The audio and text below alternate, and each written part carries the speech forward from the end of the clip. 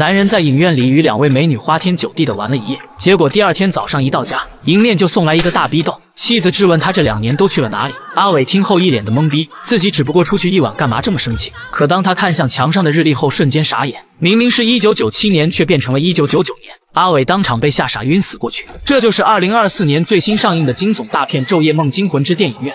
阿伟只是误入了一家倒闭的电影院，没想到第二天回家后，就发现自己失踪了整整两年。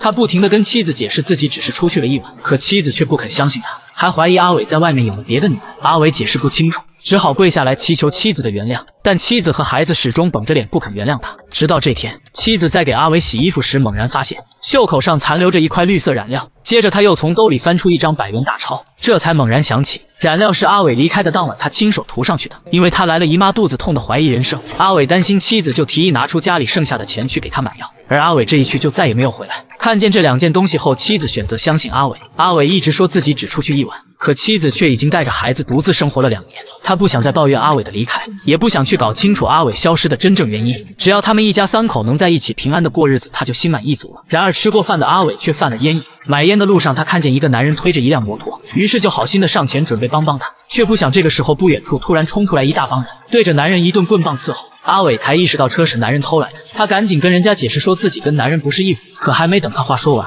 一个小弟下手没个轻重，竟当着阿伟的面砍断了男人的脖子。阿伟被这一幕吓得不轻，转身就朝着巷子里疯狂的逃命，却不小心又跑到那座荒废的影院。为了不被身后的人抓住，阿伟只好冒着风险再一次走进影院。一进来，他就将自己的遭遇告诉给了影院的老板。可两人听后丝毫没有放在心上。男人先是递给阿伟一杯酒让他压惊，然后开口问他对现在的生活是否满意。阿伟沉默几秒钟，说道：“自己曾梦想过会变得非常有钱，可如今连个像样的房子都没有。一想到妻子和孩子跟他一起受苦，阿伟的心情低落到谷底。然而这时，男人却告诉阿伟有一个改变现实的机会：如果想回家跟妻子团聚，过回以前的生活，就从后门走出去；而要变得有钱大，可以走前门。他们给了阿伟一晚上时间考虑。可第二天一早醒来的阿伟想到的却是妻子跟孩子，他毫不犹豫地打开后门走出去。然而等他回到家时，一切都变了。妻子跟孩子不仅不在家，好端端的房子也被人拆得乱七八糟。从装修工的口中才得知，这里正在装修一家超市，而他的妻子跟孩子不久前已经搬到了郊区。听完后的阿伟瞬间有了一种不好的预感。果不其然，当他敲响妻子的房门后，开门的却是一个男人。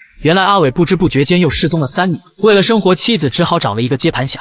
看着阿伟离开的背影，妻子躲在窗口看着，心里也十分难受。阿伟以为跟妻子再无缘分，于是他再次返回那家影院。老板看他可怜，留他在这里帮忙验票。起初，阿伟对这份工作很满意，不仅有合身的西装，还时常有美女相伴。可妻子这天在吃饭时，却看到一条新闻，报道上说他们所在的城市里突然出现上百名精神病患者，而她认出其中一人就是自己的丈夫阿伟。妻子这才恍然大悟，原来阿伟两次不明原因的失踪，竟是患上了精神疾病。于是赶紧骑上摩托车外出寻找阿伟。然而当他发现阿伟时，却看到可怕的一幕：只见昏暗的树林里站着数百人，他们目光呆滞，看上去像是一个个活死。原来城市突然出现上百名的精神病患者，竟是有异教徒在背后操控。人群里，妻子发现了丈夫阿伟，可不管他如何呼喊，他都没有反应。原来阿伟的意识一直停留在电影院，甚至遭到上百个人压在他的身上不能动弹。为了救回自己深爱的丈夫。妻子拿起一根带刺的棍子，当场刺伤异教徒。男人吃痛后捂着肚子，转身朝着树林逃命。而随着他的离开，原本昏暗的树林逐渐恢复了正常的样子。可这样就能挽回自己的丈夫了吗？